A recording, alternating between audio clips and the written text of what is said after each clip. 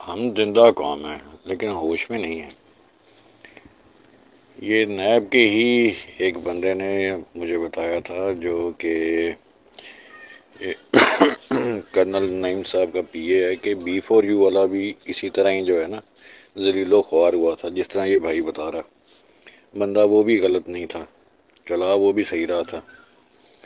بندہ یہ جو ہمارے والا ہے یہ بھی غلط نہیں ہے، لیکن مسئلہ پھر وہی ہے کہ لوگ معاملے کی جو انڈیڈ جو اس کی اندر جو اصل بات ہوتی ہے نا، اس کو سمجھتے نہیں ہیں۔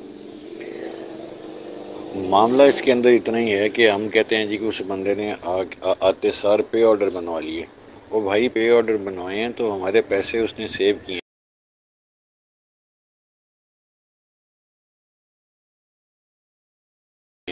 پھر کچھ لوگ کہتے ہیں جی کہ سارے کے سارے جو ڈیٹا تھا ہمارے امپلائیز کا سوری انویسٹرز کا، وہ اس نے کہیں منتقل کر دیا ہے۔ تو وہ بھی بہت اچھا کیا نیب کے نہیں چلا۔ ذرا اس کی ریٹ پٹیشنز میں نا ذرا غور کریں۔ ایک ریٹ پٹیشن آپ کو ملے گی جس میں آئی ایس ایم آرٹ اس کو کہہ رہا ہے کورٹ میں کہہ رہا ہے کہ ایک جو سیکریسی ہے، ایک پرائیویسی ہے ہماری، اس کو ڈسٹرب نہ کیا جائے، اس پہ بھی سٹے ملا ہوا ہے۔ وہ سیکریسی اور پرائیویسی یہی ہے کہ آپ ہمارے جو کسٹمرز ہیں، ان تک نہ پہنچیں۔ کیونکہ جو جو تھوڑے بہت لوگ سیکریسی سے پہلے ان تک انہوں نے ان کے پتے پتے نکال لیے تھے یا جن لوگوں نے خود درخواستیں دی ہیں نیب میں، تو نیب نے ان کی فائلیں اٹھا کے بھیج دیں ایف آئی اے کو۔ کہ پہلے ذرا یہ تو چیک کرو نا کہ اینا بندیاں نے انویسٹمنٹ انہوں کو پیسے آئے کتوں وہ ایک وکری گیم شروع ہوئی ہوئی ہے، یہ بھی میں آپ کو بتا دوں۔ اور یہ آپ کو ایک اور مزے کی بات بتاؤں۔ منی لانڈرنگ جو انیس سو دس کا قانون ہے نا، اس میں امینڈمنٹ ہوئی تھی سیکنڈ امینڈمنٹ یہ ہوئی تھی دو ہزار انیس میں، عمران خان نے کروائی تھی۔ اس کے وہ یہ تھی کہ کوئی بھی ادارہ منی لانڈرنگ کو چیک کر سکتا ہے۔ مثلا ان اداروں میں نیب بھی تھا ایف آئی اے بھی تھا، اس میں یہ F P R inland revenue بھی تھا ایف پی آر کسٹم بھی تھا، اس میں سی ٹی ڈی بھی تھا، اس میں ایکسائز کا ڈپارٹمنٹ بھی تھا اینٹی کرپشن بھی تھا پروونشل ڈپارٹمنٹس بھی تھے، وہ بھی چیک کر سکتے ہیں۔ لیکن اس کا مطلب یہ نہیں تھا کہ ایک چیز کے پیچھے سارے ہی پڑ جائیں، کیونکہ ایف پی آر کے اندر منی لانڈرنگ کے باقاعدہ آفیسرز بیٹھے ہوئے ہیں۔ منی لانڈرنگ کا ایک سیل بنایا گیا ہے۔ ان کا آفس بنایا گیا ہے یہ گارڈن ٹاؤن میں، برکت مارکیٹ میں۔ وہاں وہ بیٹھے ہوئے ہیں، لیکن وہ بیٹھے ہی ہوئے ہیں بس۔ کیونکہ جہاں کوئی دیاری والا مسئلہ آتا ہے نا، وہاں نیب ایف آئی اے پہلے ہی گھس جاتی ہے۔ یہ اکاؤنٹ فریز کرنا اور ڈی فریز، یہ اتنی بڑی کوئی گیم نہیں ہے آج کل کے زمانے میں۔ آپ بزنس کمیونٹی میں اگر گھوم کے دیکھیں تو یہ تو بڑی کامن سی چیز ہے۔ نیب نے، ایف آئی اے نے اکاؤنٹ فریز کر دیے لیکن لوگ کورٹس میں نہیں جاتے جو اس ہمارے والے نے بیوقوفی کی ہے۔ وہ ڈائریکٹ ان کے پاس جاتے ہیں اور جا کے کو مک مکا کرتے ہیں اور دو تین دن کے بعد خاموشی سے وہ اکاؤنٹس جو ان سے آنا، ان کے ڈی فریز ہو جاتے ہیں۔ اب تو ایف بی آر کے اندر آپ دیکھیں تو انکم ٹیکس آفیسر جو ہے، ایک تو ہوتا ہے نا income tax officer assistant commissioner deputy commissioner ایک خالی آئی ٹی او ہے۔ جو انکم ٹیکس آفیسر ہے، جو پرموٹی ہے بیسیکلی جو انسپیکٹر سے پرموٹ ہو کے اوپر آیا۔ اس کے پاس بھی اختیارات ہیں کہ وہ کسی بھی اپنے جو ٹیکس پیئر ہے، اس کا اکاؤنٹ فریز کرا سکتا ہے، اس متعلقہ برانچ کو لیٹر لکھ کے۔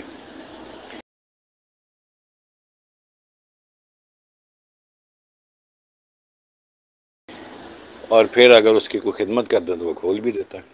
مجھے لگتا ہے کہ اگر کوئی دس، بیس، تیس، چالیس کروڑ کے روپے کے اندر یہ گیم سنبھل سکتی ہوتی نا، تو میرے خیال میں شاید اتنا کھوتے کا بچہ نہیں ہے، یہ شوکت مروت اس نے بھی سنبھال لی ہوتی۔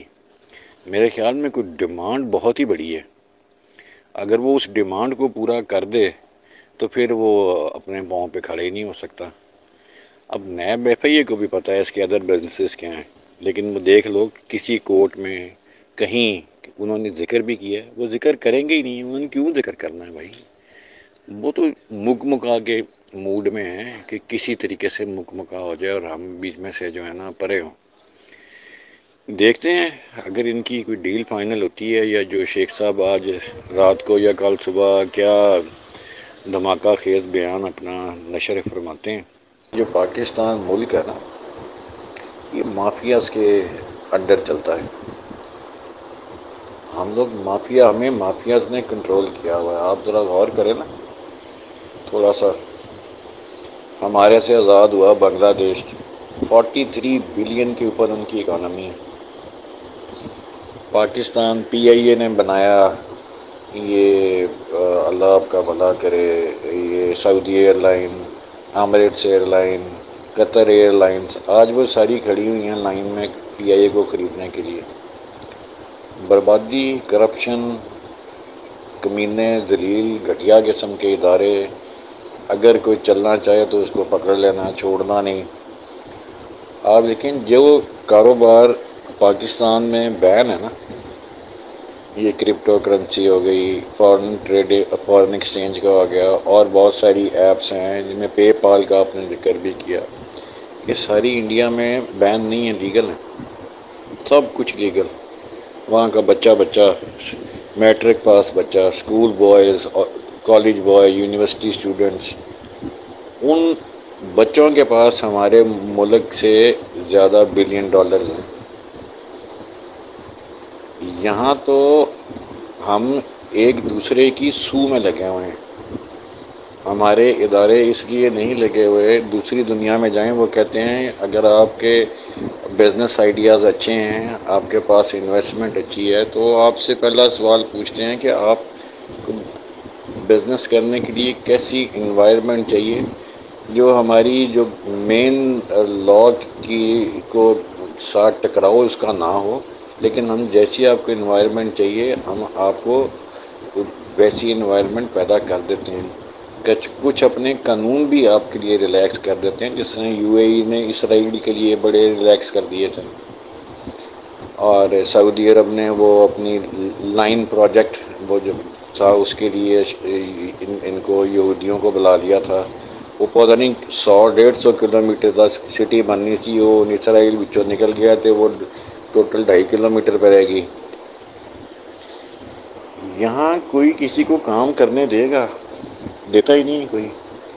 اب اگر فرض کریں گے کہ یہ ریمیٹنس کے ذریعے دیتا ہے، تو ہمارے یہاں ایک قانون ہے جس کا شاید آپ کو علم نہیں ہے کہ جو جو ریمیٹنس آپ کو آ رہی ہے، اس بھیجنے والے کے ساتھ آپ کا کیا ریلیشن شپ ہے اور کیا اس نے اس ریمیٹنس پہ، اس ملک میں ٹیکس پے کیا ہوا ہے۔ یہ ساری چیزیں ساتھ لگا کے بھیجنی پڑتی ہیں، آپ کو دینی پڑتی ہیں۔ اگر آپ کی اماؤنٹ ٹین تھاؤزینڈ ڈالر سے ایکسیڈ کرتی ہے تو۔ اور ان کو سارا کچھ ہی پتہ ہے۔ یہ ہیں یہ ایجنسیاں۔ اب آپ کو میں نے ایک ذکر کیا سی ٹی ڈی کا۔ اب سی ٹی ڈی کو میں ہے کون کون؟ سی ٹی ڈی میں آپ کو آئی ایس آئی بھی ہے، ایم آئی بھی ہے، اس کے اندر آپ کا یہ یہ اللہ آپ کا بھلا کرے، لوکل جو پولیس ہوتی ہے، وہ بھی شامل ہوتی ہے۔ ایک اور فیڈرل انویسٹیگیشن بیورو ہے، وہ بھی بیچ میں شامل ہوتی ہے۔ یہ جو دو چھوٹی چھوٹی بہنیں ہیں، یہ نیب اور ایف آئی اے، یہ بھی بیچ میں شامل ہوتی ہیں۔ یہ سارے مل جل کے لوٹ مار کر رہے ہیں۔ عوام کے پاس کھانے کے لیے آٹا نہیں ہے، لیکن آپ کی فوج کے پاس اپنے دیکھ لیں۔ دنیا کا کون سا ایسا ہتھیار ہے جو ہمارے پاس نہیں ہے؟ وہ بنایا ہوا ہم نے۔ دو دو طرح کے اس وقت، اس ملک میں میں آ رہے ہیں۔ ایک ہر دس کلو میٹر کے بعد دس مربع زمین آرمی کی ہے۔ تین مربع زمین جو سی ہے وہ پاکستان۔ پانچ مر، تین سے پانچ مربع زمین پاکستان ریلوے کی ہے۔ کھاؤ پیو پروگرام۔ اب یہ آپ کے صدر آصف علی زرداری آیا اور بے نظیر انکم سپورٹ پروگرام میں سندھ کے اندر دس لاکھ لوگ بھرتی کر لیے گئے۔ ضرورت ان کی ہے، کوئی نہیں۔ پی آئی اے کے اندر کا بیڑا غرق کرنے والے بھی یہی لوگ تھے۔ ہزاروں امپلائیز ہیں جن کی ضرورت ہی نہیں۔ ہے اب یہ اگر ہمیں باہر سے کسی طریقے سے کوئی وایا میڈیا اختیار کر کے پیسے دیتا ہے، تو انہوں نے پھر شور مچانا کہ یہ تو انلیگل وے سے پیسے آئے ہیں، پھر آپ سارے خود بھی پھنسیں گے۔ کہ تیرے اکاؤنٹ جو جڑے پیسے آئے نے کیویں آئے نے؟ آپ دیکھیں نا، جن کے پے پال میں اکاؤنٹ میں پیسے ہیں، ان کا باقاعدہ اسلام آباد میں ڈیل ہوتی ہیں کہ دبئی میں وہ جو سا ہے نا وہ بندے پیسے دیتے ہیں اس کو متعلقہ بندے کو اور جو اسلام آباد والے میں جو بندہ بیٹھا ہے وہ آگے سے پیسے دے دیتا ہے جس کے وہ پیسے تھے اس کو پانچ پرسنٹ اپنی کمیشن کاٹ لیتے ہیں۔ اگر اس کو لیگلائز کر دیں تو آپ کے یہاں ڈالر ہی ڈالر ہو جائیں۔ تو پھر جن لوگوں کا ٹیکا ہے اس ملک میں، ان کا ٹیکا ہی ختم ہو جائے گا۔ جب عوام ہی خوشحال ہو جائے گی تو پھر ٹیکے میں کون آتا ہے؟ یہ ایک ہرڈل ہے، آپ اس کو ہر دفعہ اپنے ہر میسیج میں اگنور کرتے ہیں۔ لیکن اگر آپ کے پاس کوئی ایسی انفارمیشن ہے کہ یہ ان میں سے کچھ چیزیں لیگلائز ہو چکی ہیں، تو وہ پھر آپ کائنڈلی مجھے بھی بتائیں، میرے بھی علم میں اضافہ ہو کہ یار یہ یہ ایسا ہو چکا ہے۔ بقایا اب یہ ٹیلیجی کمیٹی ہے۔ دیکھو یہ کی بن ہے، کی نہیں بن رہا اتنی سی چیز کے اوپر کہ کرنل نے شہیدوں کا ذکر کیوں کیا اور شہیدوں کی بے کا ذکر کیوں کیا؟ اس کی پریزیڈنٹ شپ گئی۔ اس کا مطلب ہے کہ کوئی پیچھے بیٹھا ہوا ہے، ایسا آدمی ڈنڈے والا جو یہ سب چیزیں کنٹرول کر رہا ہے۔ اشارہ ہی دیکھ لیں آپ، اشاروں سے سمجھ لیں۔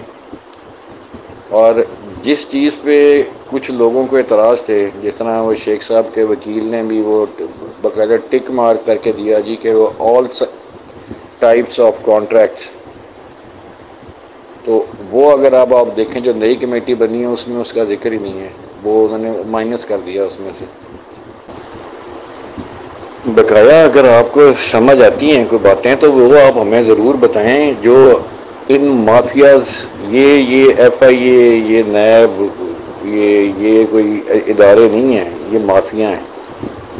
یہ ذہن میں رکھیں۔ اب آپ بتائیں ان سے بچ کے اگر کوئی ہمارے تک پیسے آ سکتے ہیں، تو وہ ہمیں بتائیں، وہ پھر ہمیں ان کی کمیٹی تک بات پہنچاتے ہیں۔ بات کچھ سمجھ آئے نا ہمیں بھی کہ یار یہ اس طرح سے پیسے دے دو۔